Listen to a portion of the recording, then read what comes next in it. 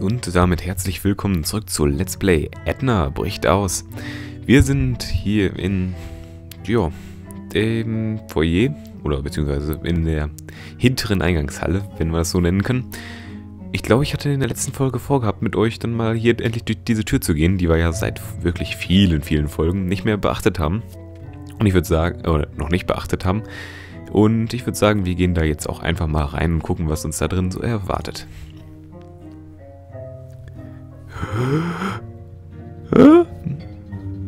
Ja. Okay. Scheint sicher zu sein. Gut, schauen wir uns alles an. Ist unser Speiseplan, ne? Man guckt, wir müssen uns erst mal gucken, was es zu essen gibt. Heute ist Wünsch dir was Tag. Und hier werden offensichtlich die Wunschgerichte den Sitzplätzen Aha. zugeordnet. Aber noch ist der Plan leer. Ja, dann müssen wir uns doch ganz schnell einschreiben. Können wir das? Heute ist Ja, Wünsch ja, dir was Tag. ich- Und hi- aber Hm, können wir nicht. Okay. Können wir uns den denn mitnehmen? Nee, also damit können wir nicht weiter interagieren. Okay, schade. Aber hier haben wir noch jede Menge andere Sachen, wie zum Beispiel den wunderschönen Besteckschrank. darin bewahrt man für gewöhnlich Besteck auf. Ja, nehmen wir jetzt auch mal mit. Wollen wir nicht erst mal gucken, was drin ist? Nein, reden erstmal mit dem. Hallo? Jemand zu Hause? Hm, es rasselt, es klimpert, es befindet sich in einem Besteckschrank. Was mag es nur sein? Ich hab's. Es ist eine Schrapnelllawine aus den Anden. Vor denen muss man sich in Acht nehmen. Oh ja, das habe ich schon schmerzlich erfahren müssen. Oh, große Überraschung. Da ist Besteck drin. Oh mein Gott. So, nehmen wir jetzt aber mal mit. Mal sehen, was haben wir denn da alles Schönes? Ein Messer und eine Gabel. Die Serie der Überraschungen reißt nicht ab. Nanu? Kein Was? Löffel. Wo zum Kuckuck sind die Löffel? Oh nein, wir haben wirklich keinen Löffel da drin. Aber immerhin, wir haben ein Messer und eine Gabel. Oh, da- das gibt wieder jede Menge Kombinationen.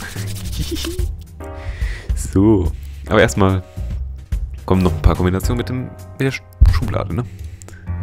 In diesem Bild spielt Captain Unbrauchbars Röntgenbesteck verrückt. Aha. Achso, scheiße.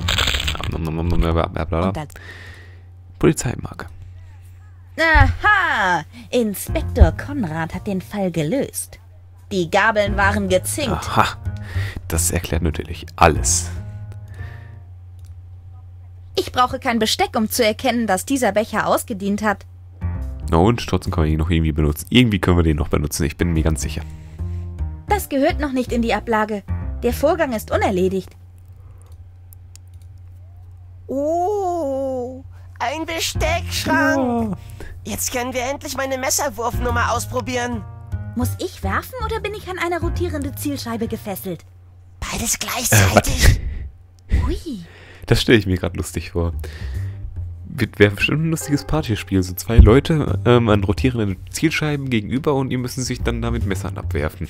Mit einer gehörigen Portion ähm, von Alkohol wird das gleich doppelt lustig. Dieses Besteckstück habe ich lieber immer bei mir. Ja, klar, den Stuhlbein will, das Stuhlbein will man auch nicht wegpacken. Ohne einen Kugelschreiber sollte man nie in eine Besteckschublade kriechen. Mit allerdings auch Ich nicht. wollte gerade schon sagen. Lieber nicht. Poloschläger verkeilen sich immer in der Besteckschublade. Na gut, da hast du recht.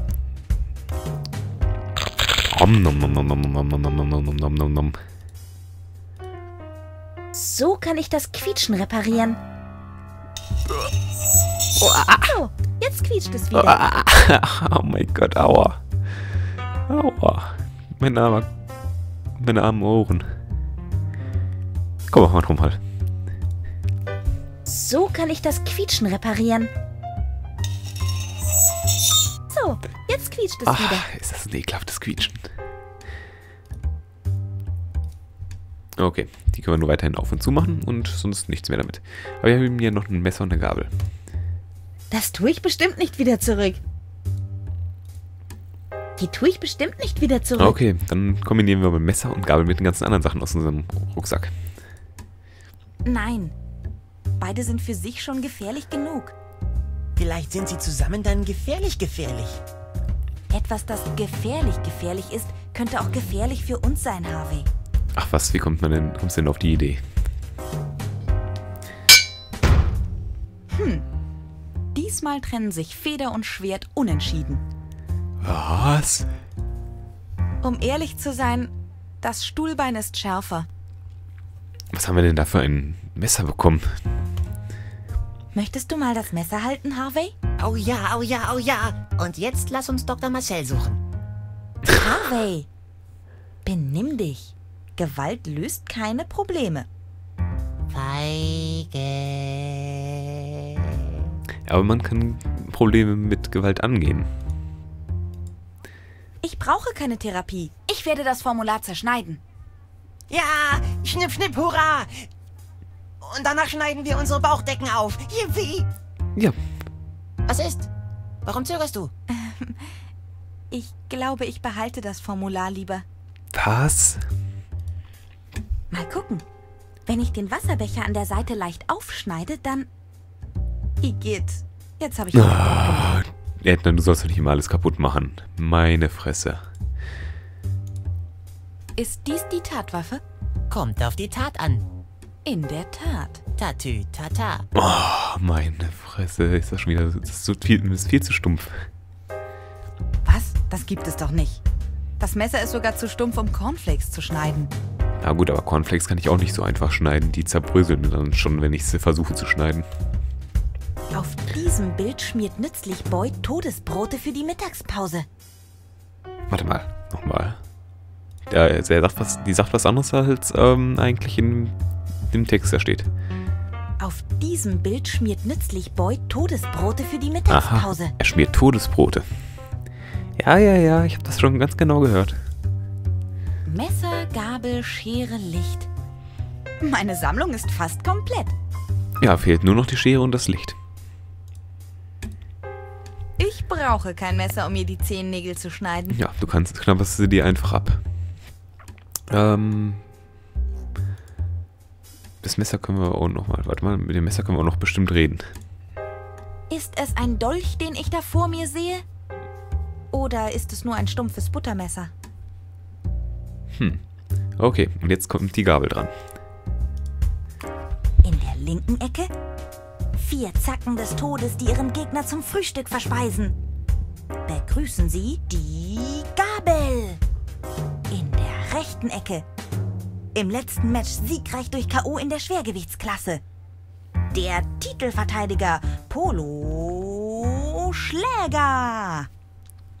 Yeah! Äh, und nun? Ja, und nun gar nichts mehr. Der Gabelstift. Das ultimative Werkzeug für Erbsenzähler. So, jetzt Stuhlbein. Was? Soll ich etwa das kaputte Stuhlbein Ja. essen? Wenn du Hilfe brauchst. Ich bin berühmt für meine Mund auf, da kommt ein Flugzeug Performance. Mund auf, da kommt ein Flugzeug oder ein Harvey. Messer, Gabel, Schere, Licht. Edna schwänzt den Unterricht. Nur Edna. Wir brauchen keine Therapie. Wir haben eine Gabel. Das lasse ich einfach mal so stehen. Ja, solltest glaube ich auch, Edna. Solltest glaube ich auch. Sehr gut. Die Polizeimarke ist al dente. Ah, gut zu wissen. Können wir sie ja essen. Und das ist genau der Grund, warum wir immer noch in dieser Ehrenanstalt sind. Was? Nur weil wir irgendwie alles wild miteinander kombinieren? In diesem Bild spricht Captain Unbrauchbar zu den Höhlenmenschen. Nein, meine haarigen Freunde. Fußnägel kann man ruhig mit den Fingern essen. Das für ein Geräusch? Klang wie Knigge, der sich im Grab umdreht. Was? Was? Was ist das denn für eine geile Anspielung? Okay, schauen wir uns mal den Topf an.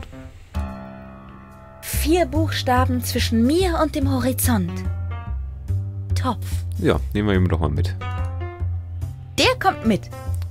Reden wir doch dann mit unserem wunderschönen Freund im Topf.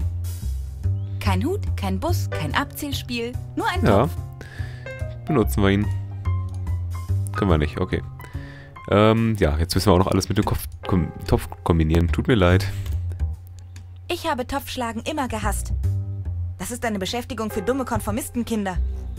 Ich glaube, Alfred mochte Topfschlagen immer. Das passt. Ja, Topfschlagen war doch lustig. Das ist einer dieser Teleshop-Töpfe. Die sind aus tintenabweisendem Weltraumschrott. War damals immer lustig ähm, mit dem Topfschlagen. Da sind dann immer mehr Kopflöcher, äh, Kopflöcher, ähm, Kochlöffel, sind immer mehr Ko Kochlöffel drau bei draufgegangen, als, ähm, ja, wir runden Topfschlagen gespielt haben. Also irgendwann hatten unsere Eltern keinen Bock mehr auf Topfschlagen, weil wir immer die ganzen Kochlöffel geschrottet hatten dabei. War ja ganz lustig. Ich habe Topfschlagen immer gehasst. Das ist eine Beschäftigung für dumme Konformistenkinder. Ich glaube. Das kennen wir ja schon.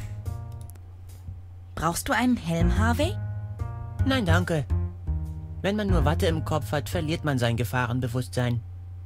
Ja, dieselben Tabletten habe ich auch bekommen. Wozu? Der Topf ist leer. Ja und? Dann ist er voll halt. Ob die in der Gruppentherapie auch Topfschlagen spielen? Ich glaube, du verwechselst Gruppentherapien mit einem Kindergeburtstag. Wo ist der Unterschied? Ähm, schwer zu sagen. Ja, das frage ich mich auch manchmal. Dies ist nicht der Schmelztiegel des Verbrechens. Cornflakes müssen nicht gekocht werden. Na, vielleicht schmecken sie ja dann aber trotzdem ganz lecker. In diesem Bild kocht Captain Unbrauchbar die Nase vom Vegetabler. Mhm. Der Topf ist ein guter Aufbewahrungsort dafür. Uah, wo sie überall ihre Fußnägel hinterlässt, war. Wenn etwas Essbares in diesem Topf ist, dann hat es ein gutes Versteck. Okay, dort ist noch ein Topf. Schauen wir uns den an, vielleicht können wir den ja auch mitnehmen. Ah, heute gibt's Wünsch dir was. Das ganze Haus riecht bereits danach. Ein wenig sperrig, meinst Nö. du nicht auch? Reden wir doch mal mit dem Topf. Ich kann damit nicht reden. Es ist keine mundgerechte Portion. Herr im Himmel, rette mich vor diesen ähm, dumpfen Dingern. Ich koch mir lieber mein Extrasüppchen. Ich esse lieber mit den Fingern. To Topf mit Topf. Da muss ich nicht nachhelfen. Das dreckige Geschirr wird sich früh genug von alleine stapeln. Oh mein Gott, wie muss das Geschirr aussehen, wenn es anfängt, sich von selbst zu stapeln? In diesem Bild kocht Okay, Captain. Unbrauchbar die Na Ähm. mhm. Okay, Die- die anderen Sachen scheinen gleich zu sein. Da hinten ist noch eine Spüle. Schauen wir uns die noch, noch an. Interessant. Hier wird also das Kantinengemüse entsaftet. Nehmen wir es doch mal mit. Meine erste Analyse ergibt, wenn ich es mitnehme, wird es nicht mehr funktionieren. Ah, wir befinden uns in einem Adventure, da können das funktionieren. Hey, ihr Kreaturen des nassen Elements! Jemand zu Hause? Neptun? Klabautermann? Captain Igloo?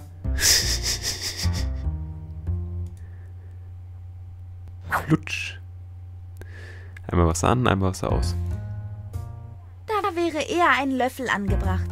Wenn ich doch nur einen Löffel hätte. Tja, wo die ganzen Löffel hin sind, ähm, wissen wir ja schon seit ein paar Folgen. Dort unten war ja dann der Typ, der mit den Löffeln versucht hat, einen Tunnel zu graben, ne? Der ist sauber genug. Ähm, mhm. In diesem Bild putzt Captain Unbrauchbar seine Ultraschall-Ohrstöpsel. Wird ja auch mal Zeit. Ach, das können wir ja schon. Ah. Ich vergesse immer, dass man die Cornflakes nicht ähm, au- aus Außeninventar benutzen kann. Blitzt und blinkt die Marke noch heller. Wunderbar. Nein, das würde nur aufweichen. Da wäre eher ein Löffel angebracht. Wenn ich doch nur ja, einen Löffel. du, ich weiß, du willst einen ganz dicken, fetten Löffel haben. Willst du baden, Harvey? Igitt, nein. Ja, wie komme ich denn auch überhaupt auf die Idee? Nein. Ich möchte, dass das Blut Okay, das kennen wir auch schon. Nass schreibt er nicht mehr. Okay, sonst noch was? Oh ja, Topflappen und Handtücher. Gibt's noch? Handtücher? Handtücher, die heißen die nicht Trockentücher?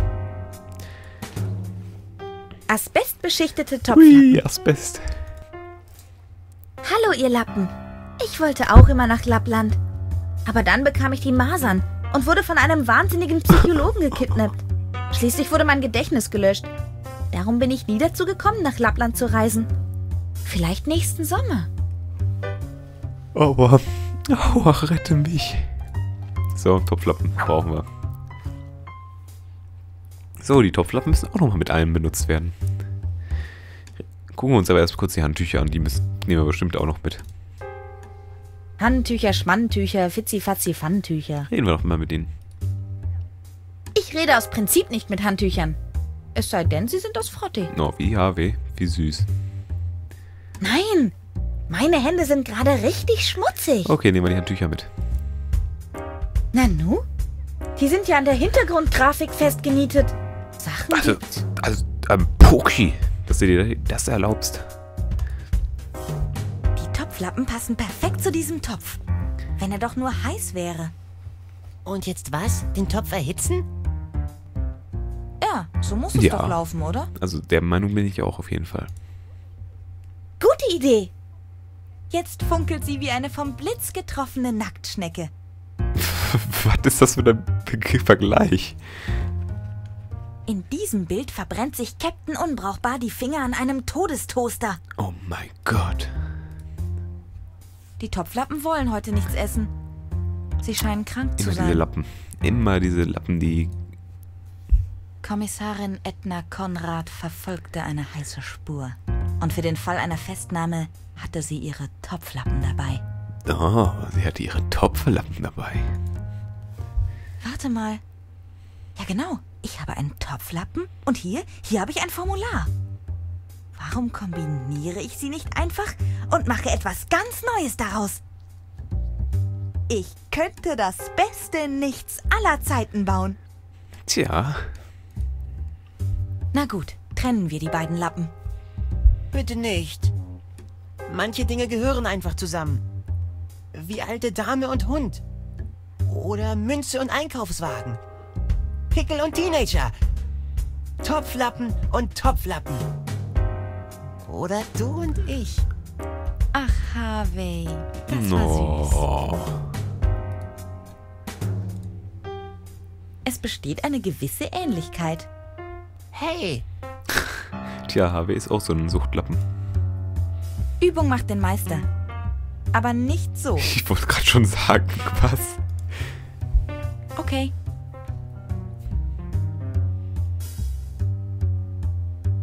Haben sich die, auf die Topflappen hier wurde das draufgekritzelt.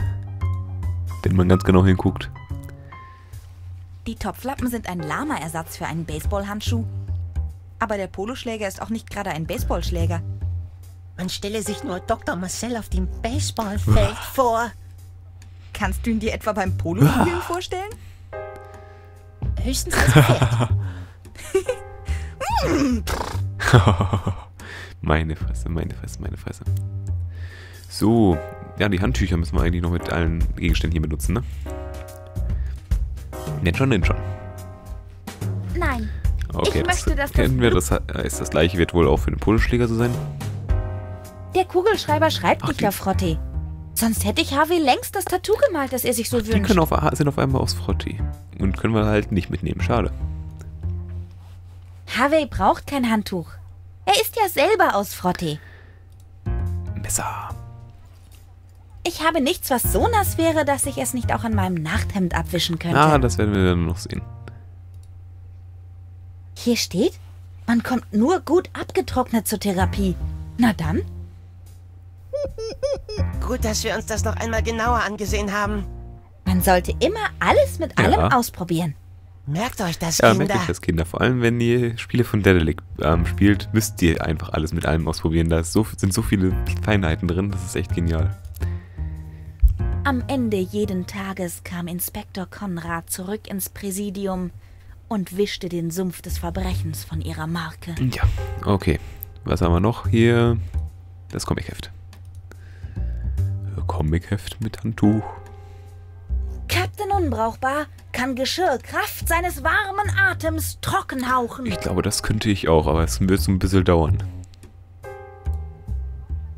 Warum braucht man dafür zwei unterschiedliche Gegenstände? Tja, das habe ich mich auch schon gefragt. Warte, ich wische den Topf noch einmal aus. Genau. Und danach falten wir unsere Socken zusammen und kämmen uns die Haare. Ah, wie kommen wir denn auf die Idee? Wir sind Zocker. Ich habe nichts, was so nass wäre, Ja, dass okay. ich es nicht auch an... So, zum Abschluss noch einmal Poki. Ah ja, hier ist einer meiner eigenen seltenen Auftritte im Spiel. Und zwar äh, habe ich tatsächlich die Rolle des Kochs gesprochen. Beziehungsweise, naja, gesprochen kann man kaum sagen, weil er, er sagte kein Wort. Er macht nur äh, Grumpflaute. Aber ähm, das habe ich selber gemacht. Und ich habe versucht, sehr viel charakterliche Tiefe einzustreuen. Oder so. Ich weiß gar nicht mehr. Wie habe ich das gemacht? Ja. Und ich, ehrlich gesagt, habe ich mich immer so ein bisschen so gesehen wie ein Popeye mit Kochmütze. So verstehe ich mich auch als Game Designer. Ja. okay, wir wissen dann jetzt Bescheid, dass wir hier irgendwann nochmal zurückkehren müssen, um mit dem Koch zu reden. So dass wir dann quasi mit Poki reden. Ja, ich glaube, bis dahin wünsche ich euch erstmal alles Gute. Bis zur nächsten Folge. Ciao, ciao.